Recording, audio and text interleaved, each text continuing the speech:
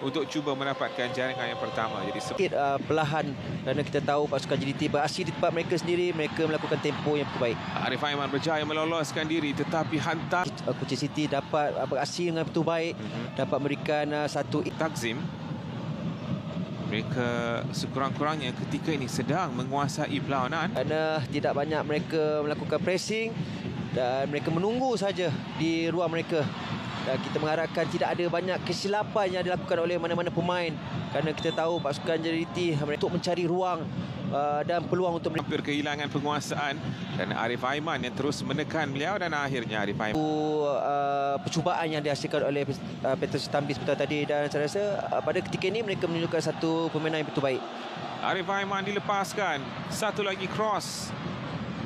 Lombardo melepasi Rodney Kelvin menggelecek Lombardo dengan satu cross ke far post ah Syaril Sehari gagal untuk mendapatkan uh, melakukan untuk Arif Fazila. Ini dia Alif Hasan. Pressing sedang dilakukan Arif Aiman dan beliau uh, belum berjaya. Arif Fazilah cross itu kurang baik. Kita lihat bagaimana mereka selesa untuk mengawal.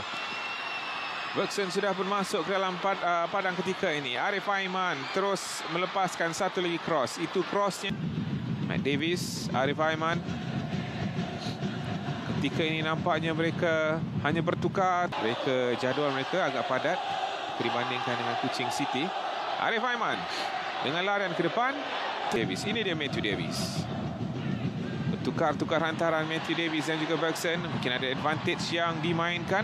Pada ketika ini ya, yang dirasakan oleh uh, coach Adi Sarin, saya rasa impact yang betul. Sangat. Ya, Tetapi ya, betul. disebabkan Pedro di tengah uh, kurang menjadi. Namun ketika ini Bergson dengan percubaan itu terbias pemain Kuching City Arif ataupun dikatakan kualiti beliau sepatutnya bermain di yang penting untuk mendapatkan bola terlebih dahulu tidak boleh memberikan ruang satu hantaran ke tengah agak berbahaya ketika ini untuk Kuching City. Terus mencuba membuka tirai jaringan.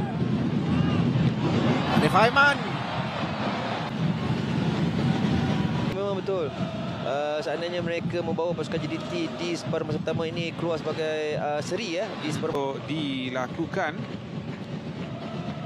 Arif Aiman meloloskan Bergson baik untuk mendapatkan Arif Aiman sekali lagi percubaan leret ah dan Obregon dengan tindakan sus yang lebih jelas. Adakah betul Obregon offside? Uh, agak jauh, agak jelas. Ya, Sebenarnya dua pemain yang berada dalam kedudukan offside. Ya betul. Tetapi kita melihat bagaimana permainan satu dua di antara Arif.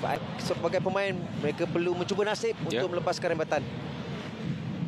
Arif Aiman cuba membantu JDT sekurang-kurangnya mendapatkan jaringan pertama. Tiga tambahan masa diberikan di uh, aksi separuh masa yang pertama ini. Sekali lagi Arif Aiman menggelecek. Ini dia kualiti Arif Aiman melepaskan. Bagaimana Arif Aiman uh, kebiasaannya melakukan uh, gerakan seperti ini. Beliau masuk ke dalam dan terus melakukan umpanan. Tetapi tidak ada mana-mana pemain yang meletakkan diri mereka di bahagian near post.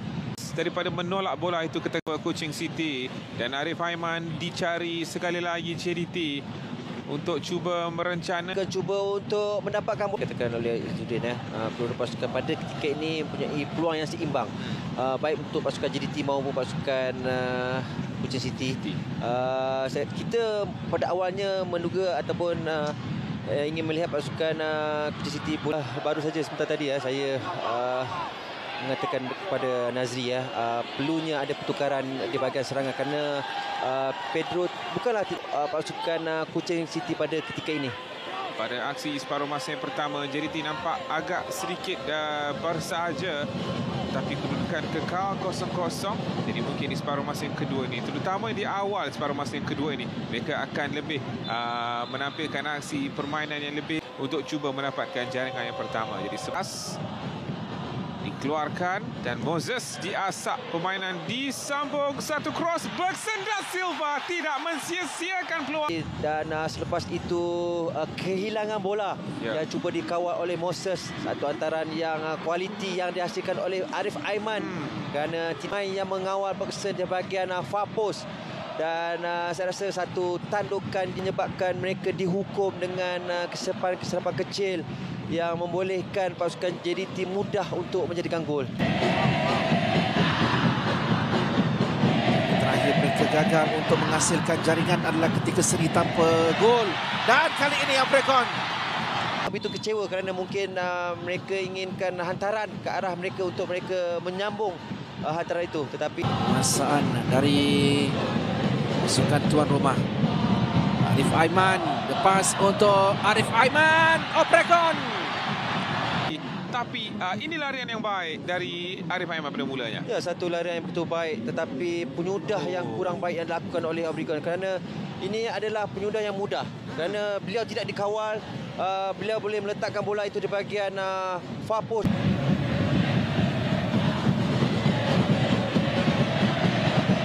Wang kali ini untuk JDT agak lemah. uh, protect bola sebentar tadi ya walaupun tekanan yang diberikan oleh uh, Obrigon walaupun kita tahu Obrigon memang yang ada pada uh, James untuk yang cuba dilakukan oleh uh, Jimmy Raymond dia agak-agak sama ada ingin pergi ke bola ataupun ingin bertahan. Arif Aiman mengintai kedudukan Berkshire, mengintai kedudukan